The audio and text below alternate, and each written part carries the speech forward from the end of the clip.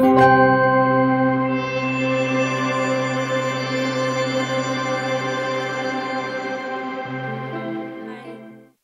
my name is Precious Piri. We represent Regeneration International, which is a global network of uh, regenerators from consumers, practice, science, as well as uh, feeding information to policy.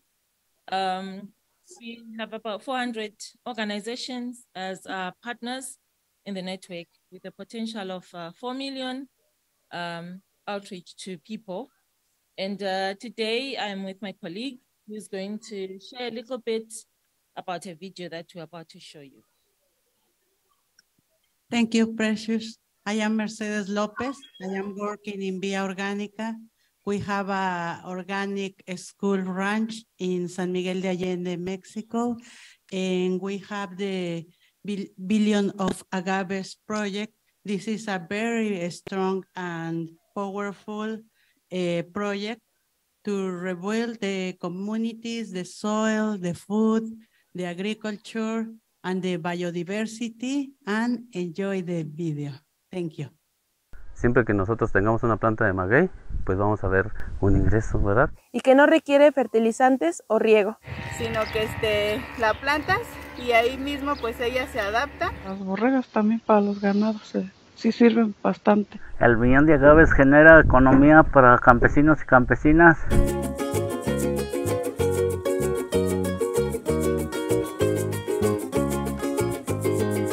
Hola, ¿qué tal? Los saludo desde el proyecto de Vía Orgánica en San Miguel de Allende, Guanajuato. Es una estrategia que pretende cambiar de alguna manera el cómo se ve el paisaje semiárido degradado.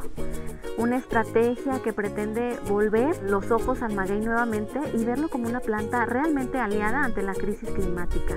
Es una planta que captura CO2 del ambiente, que además es, eh, es refugio de flora y fauna silvestre y que retiene los suelos.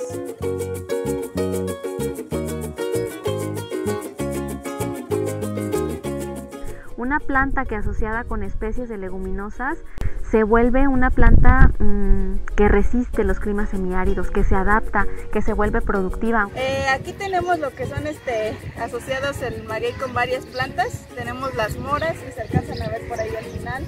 Tenemos olivos y pues también tenemos asociado lo que son los animales, las gallinas, eh, de repente también algunos conejos que andan por ahí. Entonces este, no necesita de mayor espacio tampoco, podemos este, asociarlo con diferentes plantas. Nos da diferentes eh, beneficios como alimento, como material para construcción, como forraje para los animales. Por beneficio de la gente, mucha gente aquí los de las comunidades tienen sus huertos de maguey. ¿Verdad? Porque no vamos a gastar en comprar forraje para nuestros animales porque nosotros ya lo tenemos. Pues es una invitación a que todos pongamos nuestro Aquí Bioorgánica tiene su máquina preparada para moler forraje. Se muele, se envasa en botes de 20 litros, que son 20 kilos. Se deja 28 días.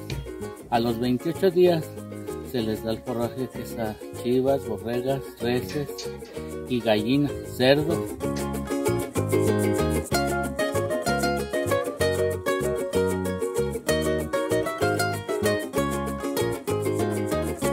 Uh, thank you for showing the video. This is just one of the strategies in the school that Mercedes spoke about. Uh, it shows how we can help uh, small stock and uh, all livestock, especially in the drylands um, of Mexico. And I think in the drylands of Africa, we also do the same using generative practices uh, of holistic grazing and uh, seed and food sovereignty work with farmers. So we just decided to show a small piece of video um, for you to indulge in some of the work we do. Thank you. Thank you.